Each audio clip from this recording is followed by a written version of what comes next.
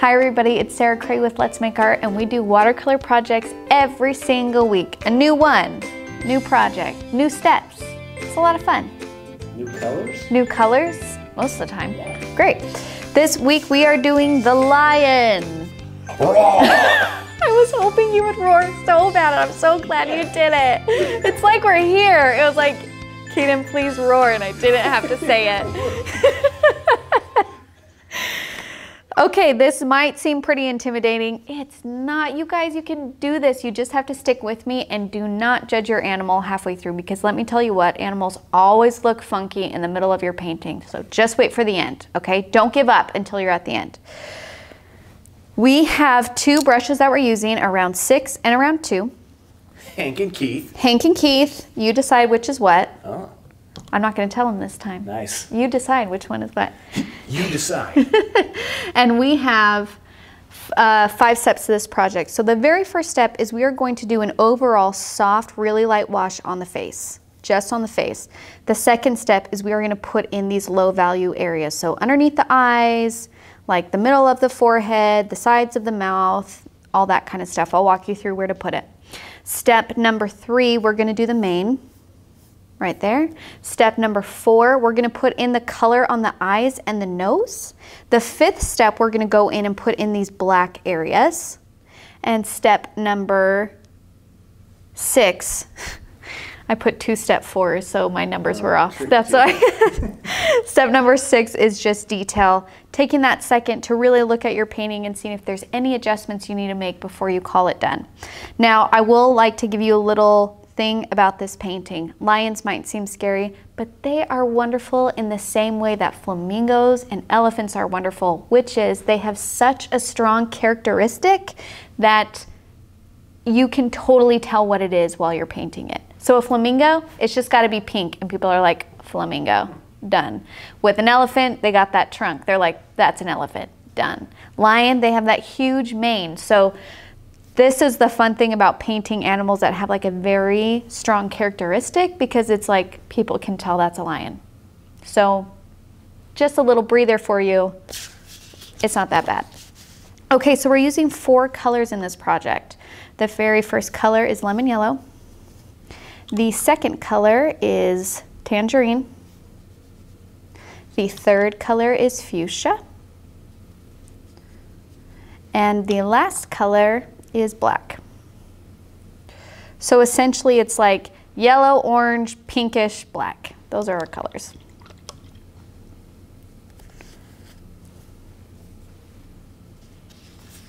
Okay, now here is my lion. And I just want to show you guys something. We have outlines on our website. So if you order a kit or a subscription, the outline's in the kit or the box, or you can just download the outline on our website. Just find the square box that says outline, click on it, and there's the outline. And when you use graphite paper, I go over how to use it in tutorials, but I want to give you guys a little hint, which is if you use a felt tip marker when you're outlining, because it's a soft point, you're not going to get a hard line. So this is like normal pressure with a marker. And then I'll show you with a pencil or a pen what it looks like with the same pressure. Felt marker, regular pen. Dang. So if you do super light pressure with the marker, like just like barely touching, you are gonna get a really fine line like that. You can't even see that. I can't even see. But I can see it, and that's kind of what we want when we're doing outlines. Now I darken my outline so it can show up on the video. When you're doing this at home, try and get as barely there line as you possibly can. And if you're having trouble doing that with a pen or pencil, try a felt tip marker, and that will help you make a softer line. Okay? Say okay. okay. Okay, great. Let's get started. Step one, we're gonna do a soft wash over the entire face. So I'm gonna take a little bit of orange. Just like, I like to put my paints on the edge of my tray because there's like a curve in the middle and they're supposed to be like that. So if yours is like that, it's not wrong. And then I pull colors to the middle to mix, add water, all of that stuff. So I'm gonna take a little bit of this tangerine, mix water with it. So it's a really, really soft, almost like a tan color. And then I'm just gonna go and put this color throughout. I'd like to say khaki. Ooh, that's a good color. Thank you. Khaki. Khaki. So just a really soft, make sure that this is really, really light. To make a color light in watercolor, you add water to it. That is the difference. So really make sure this is a light value that you're putting in here.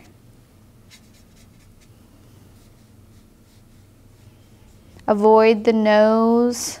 And I'm not going to do the bottom part of this fur because that's actually going to stay white. Like the chin of lions is is white. We'll put a little bit of color when we uh, when we put it in, but for the most part, it's it's going to stay that white color.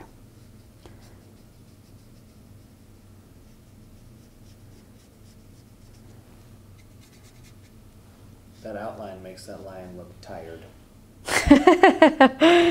yeah, he'll be serious though.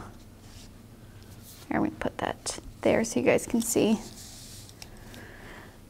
the reference as I'm going.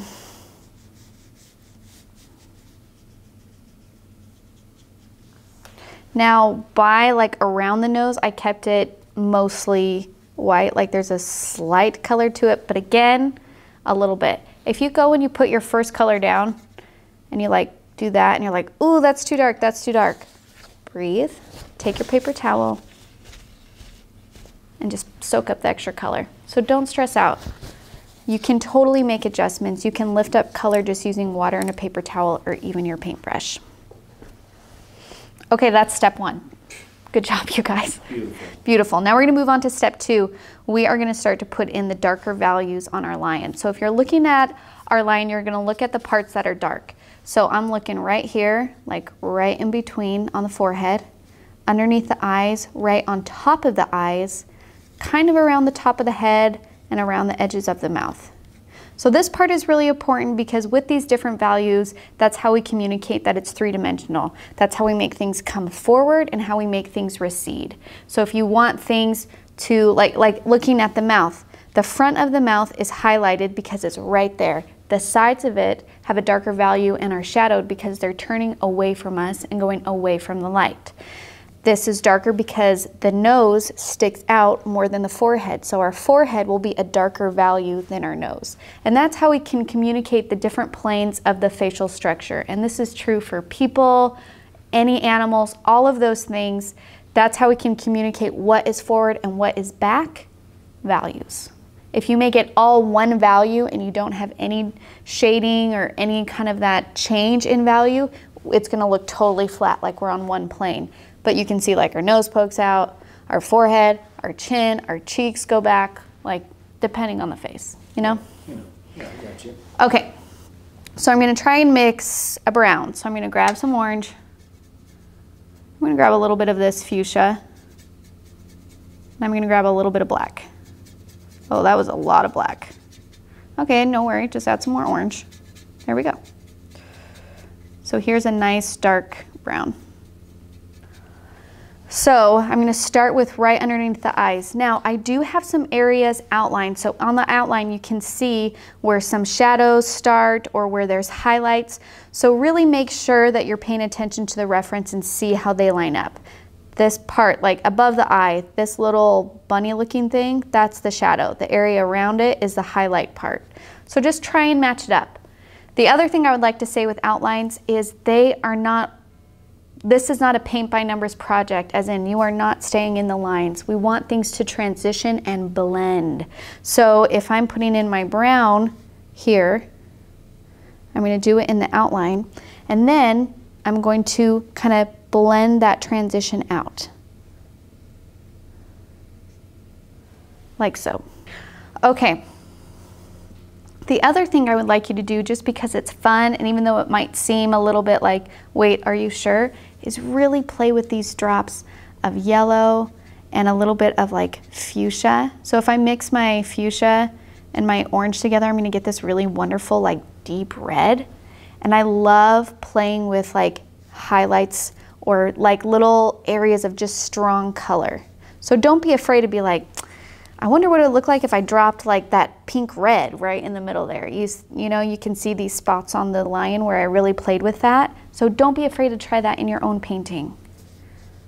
And he is a lion. He eats Other animals. He, there's No probably way. blood on his mouth. Circle of life. I've seen The Lion King. I see the Lion King. So we're just gonna keep going around and just kind of putting in these dark areas. And if you wanna kind of like put in the dark areas and then blend them out like after you put a few in, that works too. I do that. And if you go outside the outline, it's not a big deal, you guys. It's not a big deal at all.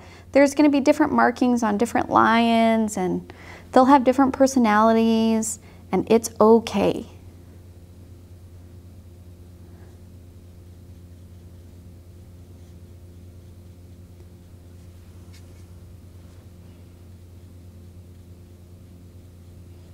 So I'm grabbing some dark brown, put that in. Let's grab a little bit of this gray orange, drop that in, kind of spread it out. Now I have this outline here because we want it to be clear that like in between the eyes, like right here, and you'll notice it on animals and things like that, is it's farther back than this bridge in the top of our nose. So this area is actually gonna be shaded. So I'm just gonna take some water in the color that's already there and just start blending out.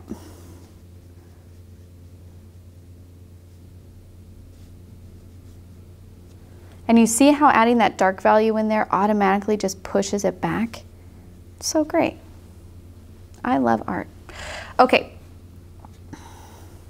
Now we're gonna do the, it has like little ridges right here on the nose. And then let's put in some shading on the sides of the mouth. So I always like wherever it's the darkest part, that's where I like to put my color. And then I rinse my brush once or twice, hit it off the side, and then just blend out the rest of the way.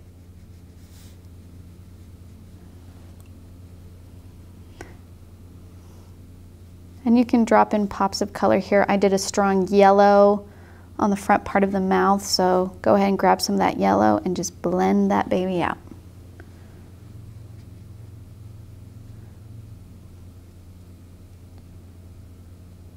Looks very odd upside down. Does it? Yes.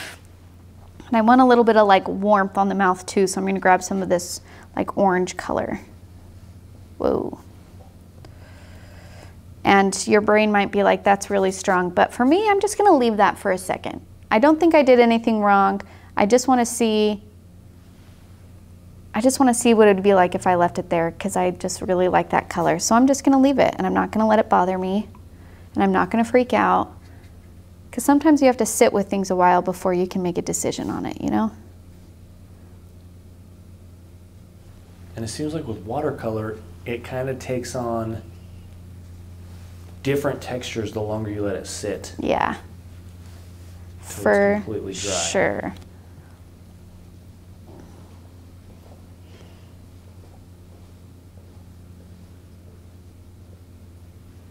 It's so funny. Every time I paint a lion, it kind of reminds me of a clown.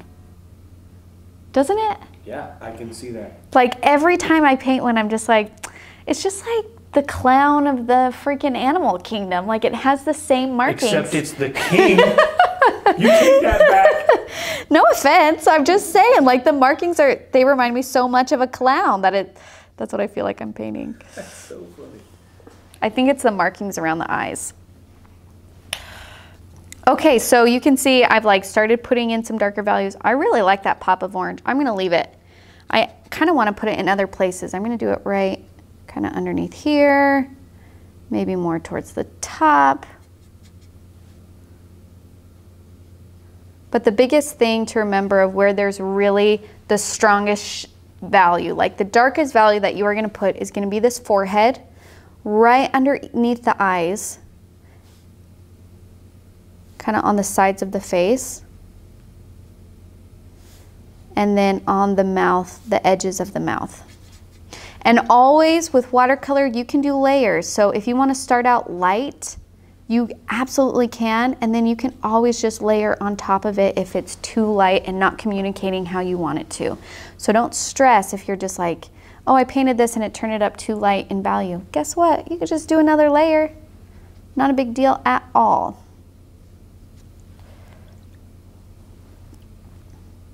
Now in these areas where we can see the light value, now because we put in so much color, doesn't that look almost like white now compared to it? So what I like to do a little bit is like, I'll just do like one little swoosh across to give it a little bit extra color, but not be the same value as everything else. So it's still the highlight, but I brought it up to color a little bit more. I need some more yellow. Let's put some yellow in there. Now same thing for like around the top of the eyes. I'm just gonna grab a little soft wash of like orange and yellow and put that in there again. Now if your original layer of that soft wash was maybe a little bit darker, you don't have to do this part. So look at your painting and just be like, I wanna make sure it's a lighter layer, a lighter value, but I don't want it to seem like it's white. So you then decide from there what is the best way to handle that.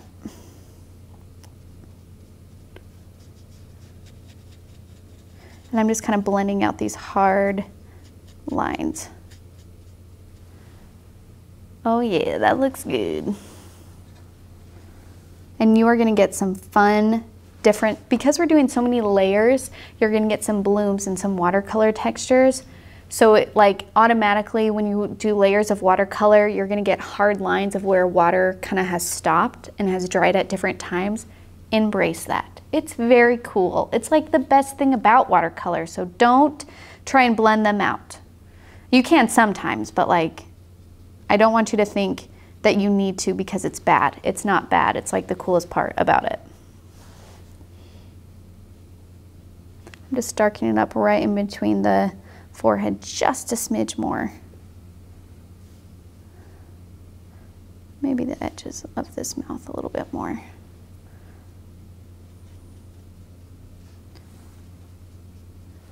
Yeah, okay.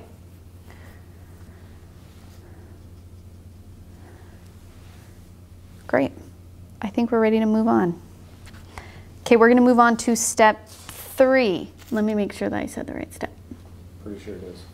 Yes, step three, we're gonna do the mane. Now here is the really wonderful part about the mane. This is the biggest thing you gotta, you gotta make sure. So with manes, they connect. So with manes, they connect at the head and then they like puff out from there. So they like come in and like are sometimes attached to like the back part, maybe not even this part, but like also back here, which means that we want to make it clear that like the face itself, like the skull ends and then it's hair, which means the darkest parts are going to be around the face. And then it's a lighter value from there. And then that shows that it's like it kind of goes in. Does that make sense? Makes sense. Okay, great. So I'm going to pick up some dark brown and I'm just gonna work around the face. Now I'm gonna be doing swooping motions and change the angle of my brush as I go around the face. So I'm gonna do like swoosh, swoosh, like this. If you're not comfortable with changing the angle of your brush, it would still work if you rotate your paper, yes? Yes. So um, yeah, if you're okay with making this motion, then just switch, keep you see? Yes. Okay, great. So. I mean, yes, I do. so I would suggest doing a little section at a time. I know I did more, but the reason why we want to do a section at a time is because we'll put this dark part in and then we're going to just use some water and kind of like blend out from there. And then we just use water. So the goal here is at the very edge of where the hair ends, really light value, barely there color. As it gets closer to the face, it's gonna get darker. And that's gonna communicate that it's starting here, it's going out and getting puffy. And the really fun thing about this and why I love watercolor is whenever we have these vast areas of just like water, you can really play with color and texture. So don't be afraid to be like, you know what, this section, this is a yellow section. And leave it there. So don't be afraid to play with those colors. It adds interest to your painting. It makes it yours too. So I'm just grabbing color, putting the color in initially, and then just rinsing my brush and using water to spread out that color as I get towards the end. Isn't that cool? That's sweet. And then when you get to the end, I don't want the texture to be all of the same, as in I'll do this in dark so you guys can see what I'm talking about. Don't get to the end and do this. Because you see how all those things are the same thicknesses? We want to like, hair is more complicated than that. So there are chunks that do that, and then there are chunks that like go out funky. And maybe they come back in, and then they go back out. So that reads way more realistic as a hair edge than this. Okay? Side note, those are some pretty cool value changes in those examples. Yes, yes. Mm. mm, mm, so good. Mm, good. So I'm going to be like swoosh. Let's have some go out a little bit thicker. I'm to have some thin out. So you can go all the way to the edge and then do like the different shapes around the edge at a different time if you want. Like just be aware of it. I don't want you to ignore the edge. It's important that there's variation in thickness and lines and color. If it's all the very same shape along the entire thing, it's just gonna flatten it. I don't know why that is, but that's what I've noticed. So now I'm going to grab some orange because why not, you know? Maybe some yellow. And now I'm just going to rinse my brush using the color that's already there. And I'm using my round six because I can fill in the space faster. Maybe someone will rainbow this lion. Oh, 100% someone will rainbow this lion. Um, in uh, I've, the book I just illustrated that was just released Yeah. called Sisterhood. no, I'm just kidding. Um, I did a lion in it, but I did it in uh, like a galaxy. So it's blue and black and purple with stars and stuff. It's so cool. I love it. I love it. I love it. I love it.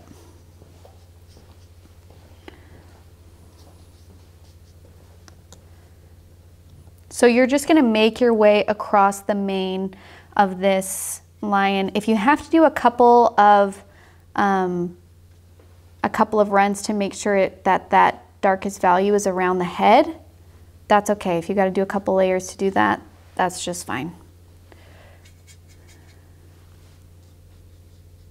So I'm going to try and just do kind of little chunks at a time. Pick up some orange and yellow, put that in there, mix it in, let it get messy, let it get muddy, let it just do its thing. Watercolor just wants its freedom, you know? And if you really want to add some color, mix a little bit of that tangerine with that fuchsia and you're gonna get this great red. So don't be afraid to plop that in there some places, you know? Why not?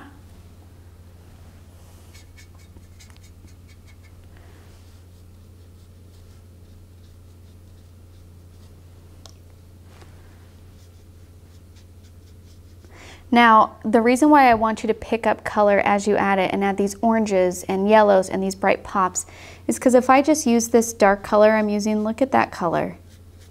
It's just like brown, which I like a good brown, but I don't want a boring brown or a dull brown. So that's why it's like, don't be afraid to just put some other color in there. Look how much more life is in that. Yeah. Oh, So if your line is just looking a little bit drab, maybe you need to do a little bit more pops of color.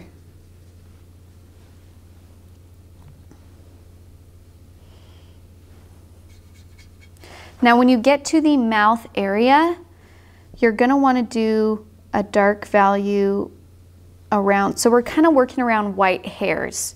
So try and think of it that way. And the reason why we want it especially darker is because the chin is sticking out farther than what's behind it. And so to give us that separation of what's in front and what's behind, you gotta put dark right underneath it.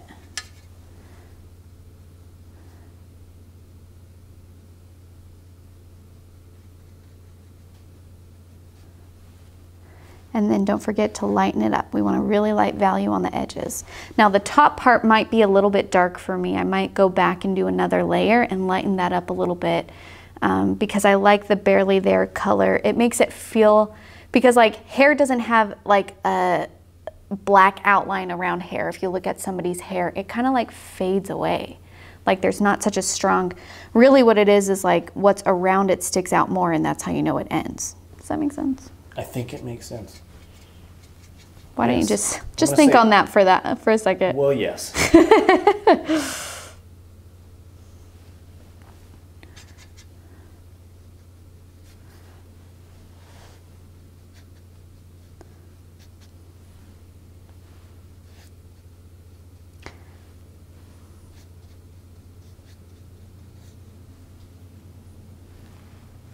So just to like illustrate to you guys, this is a light value on the left hand side of this mouth. This is a dark value. You see how that white sticks out so much more, like it's actually in front of it. Where this one you're like, well, I can see that one's kind of behind, but I can't tell how far away. So just like how dark that is is really communicating to our viewer that it's like, no, no, no, no. This hair is way in front of this other hair, you know? I do know. If that was a question directed at me, I, I would like to answer it. The answer is yes. And you can even like drop in some water and get some fun water textures. Like watercolor makes the coolest things accidentally, so let yourself play with it.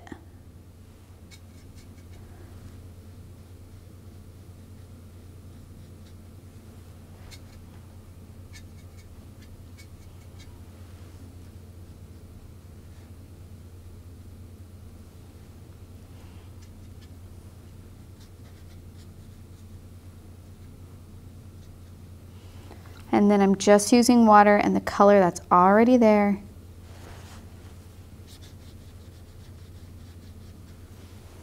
Okay, and now before we move on from the mane, I want you to just like go in and like, you can even use your round two for this and do some like stray hairs, like really play with the different texture edge. Because you, if you look right here, how this is now, these marks are all very similar. Du. I need to switch that up. So I need to like, I'm gonna throw in some thin hairs coming out. Some split ends, maybe. Some split ends. This hair is wild, so it's going in different directions.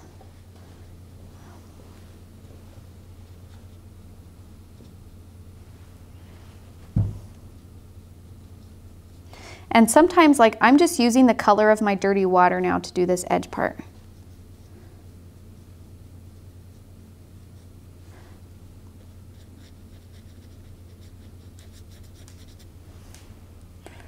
Oh yeah. And let's get some going on back here. I'm gonna lighten up. So I'm just using this dirty water and grabbing a little bit of color and just doing a lighter value here at the top. I don't have to totally blend out these lines. There are layers of hair within the mane, so it's okay if some of them like poke out in front of the other ones. That's totally fine, because that's how we would see it.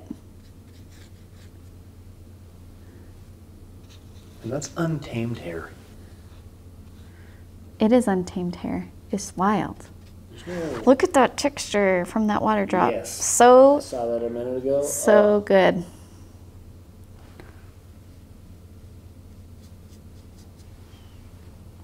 I'm going to do another drop over here. And if you were like, man, I really like these water textures I got over here, but I didn't do that on this side. Well, guess what, my friend? Just re-wet the area. Put that orange back in, then do a water drop. And you're to still get some cool stuff.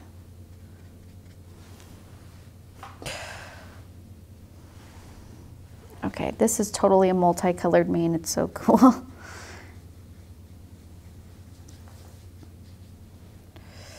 Okay, I'm gonna do another layer right underneath this white chin because I want to make sure it's clear that it's nice and dark. Give it that depth. And then if you want to like, for me, I'm just like, man, I need to really darken this area up a little bit more. Just making it really clear that around the face it's a little bit darker.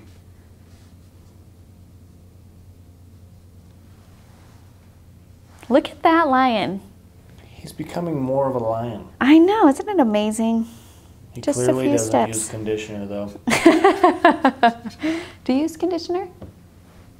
Keenan? No, I do not. No. so what are you giving this lion crap for? Not crap. I'm just noting that he's wild. He is wild. Okay, Call me out.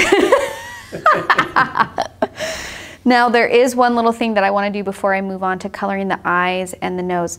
Is this mouth, it's white, but as we have learned before, just because something is white doesn't mean there's hints of other colors there. Nothing is like pure white. You can tell by like holding up a piece of white paper to something that you think is white and then you'd be like, oh shoot, that's not white at all. like the tissue versus teeth test. Yeah, don't do that. That just makes you sad because you're like, I have white teeth, and then you hold up. I've never thought I had white teeth, but I thought I had white teeth before, and then I held up something white to it, and I was like, no. Okay, so we're gonna add just a little bit of color into the mouth of our lion. So I'm gonna take this like soft, creamy khaki, kind of similar to what we used in the lighter values, you mean khaki. khaki, and I'm gonna put that like where that mouth opening is and then softly blend out. So I want the very edges of this mouth, chin, hair thing to be white, but I want it to transition into with like a soft hint of color. And that just adds a little bit of depth to it and that's way it's not like white, blinding, sticking out, being distracting.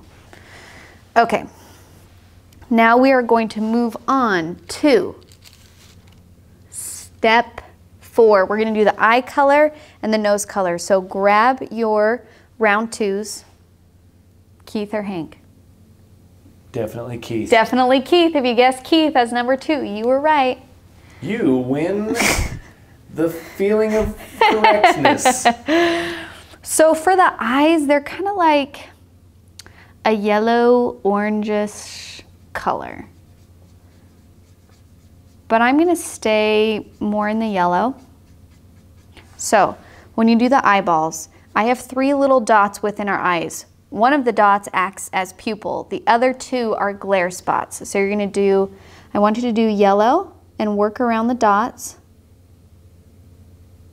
Are you getting that on close up? Tell me if I need to move. I'm getting as close as I can. And then to give our eyes, because everything has a value change, like everything does.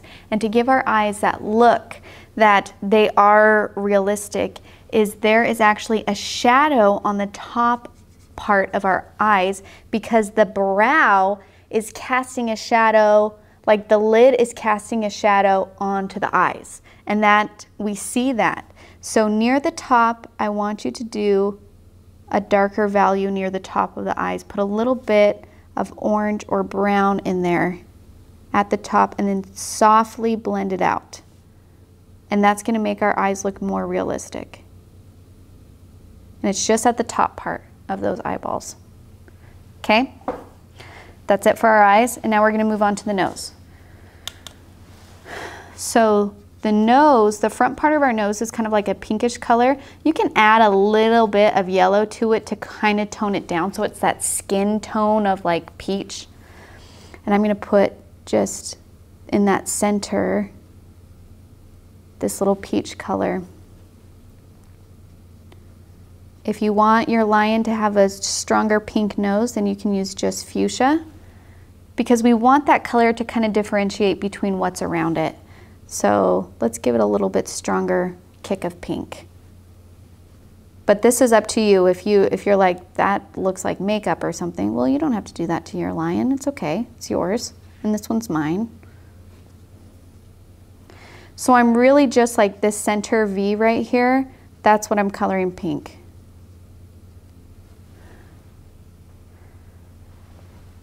Okay, that was it for that. That was super easy. just a really quick, easy step. So then the next step, I think it's step five, we're gonna do the black areas. So get your round two, pick up some black. Now you wanna make sure your eyes are dry at this point. If they're still wet, if they're wet, like I can tell that's still wet because it's still glary and I can just tell, don't do this part because you wanna keep it clean. You don't want things to bleed together. So once it's dry, you're gonna go in and you're gonna put in the black section. So you're just gonna follow this outline. So it goes on the bottom, on the front and on the back. And also just a very thin line at the top. And then our pupil. So our pupil is going to be like the center black. Okay, there's one eye. I should have done the other one first because now my hand is going to be there, so I'm just going to turn my paper. Ooh, can you see that still?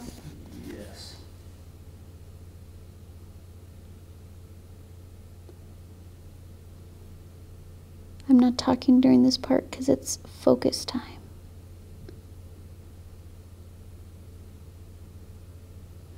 Really thin,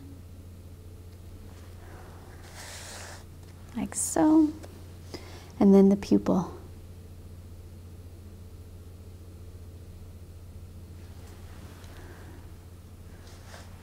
Okay, that looks good. Now we're going to do the nose and the mouth. Again, you want to make sure it's dry. And so I'm going to like line the bottom of the lips, like the lip cheeks a little bit. I'm going to put in this like where the mouth parts a little bit, so just like this little V or triangle. And then this black line fills in the rest of the nose that we didn't paint.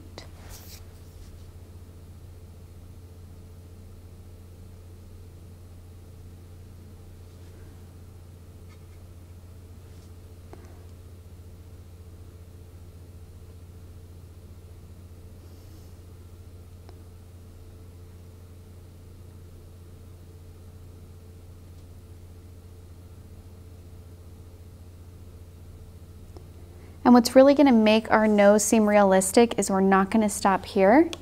We are going to wet our brush a little bit so it's just kind of damp and we're gonna softly blend that black at the bottom because we want the pink, we don't want it to be outlined, we want there to be a transition period where it kind of transitions into the pink so it like goes to a gray area and it's going to be on like the sides and the bottom of the nose.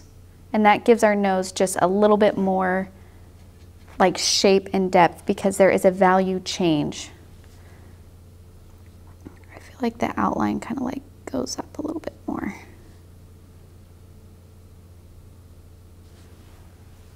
Yeah, there we go. And noses are lopsided, so it's okay if yours gets a little bit funky. And then that same idea, we're gonna do that with the mouth. So this black triangle I put in, using a damp brush, I'm gonna blend this out so it transitions to my white.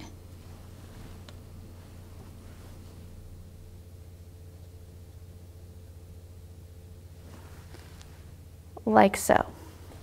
And then this is where I want you that's it for the black. Good job, you guys. We're on our very last steps. Nailed it. Step number six, we're gonna do details. This is where you're gonna see, okay, what parts are distracting?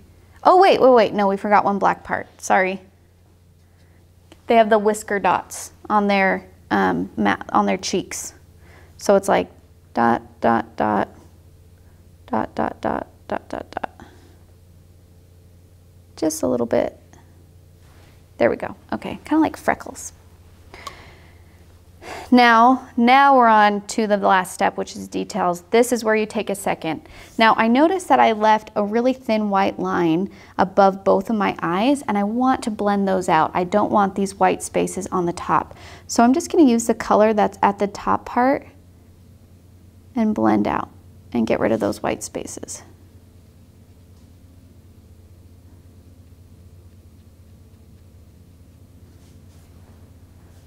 And you can do that wherever. See, this is the hard thing with following an outline is there is going to be little areas where there's just white chunks from when we painted one section and another. And uh, you can leave them if they don't bother you. I don't think there's a wrong way. Um, or if you want, you just like blend them out just with a damp brush.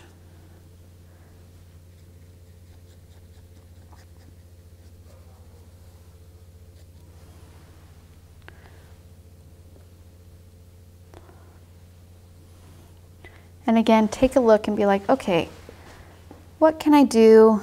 Is there anything I can really do to add to this? I'm gonna do like little drops of more color because I just love just strong areas of color. You don't have to do that to yours. This is your painting, so if that doesn't feel right for you, don't do it.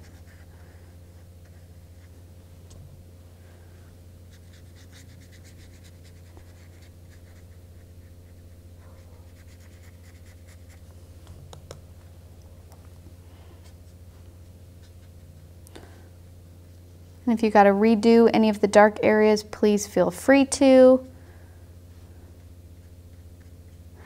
Oh, and the other thing that you can do for details is you see here in my example, I have these kind of dark little wisp lines. So you can put a couple of those in where you're just like, there's a hair and maybe that's a little wave and and these are kind of like different shadows of different chunks of hair like being separated kind of thing. You don't have to put them in if you don't want to, but if you just want to do that nice little like,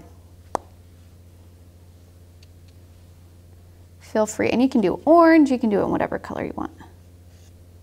I'm doing like an orange or dark brown. You just want it to show up, so you just want it to be a slightly darker value. Maybe I'll do some more pink up here. Now, um, if you want your eyes to have a little bit more of that look as if the lion is like looking up at you from underneath its brow, then you're gonna want to connect your pupil like to the top black part. So I'm just gonna go in and I'm going to do another line of black on the top part of my eyeball on this lion.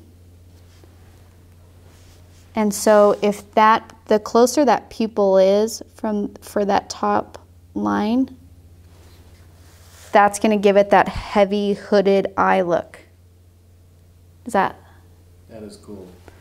So if your eyes, lion's eyes are looking too wide and you don't like that and you really want it to look like it's like looking up at you or like has that kind of like relaxed look, like a heavy hooded eyeball look, then you're just gonna move that top black line down to meet the top of that pupil.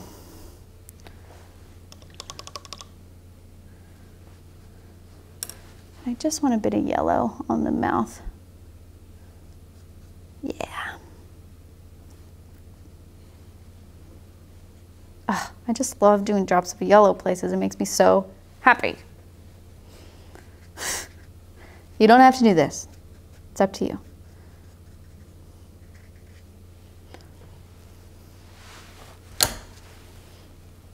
You guys, you did it. Great job. See, that wasn't that bad, right? That was so good. I know, it's just because the mane, lions have manes, and so you're like, done. I know what that is. So if you painted this, I really want to see it. Oh, we should name this lion.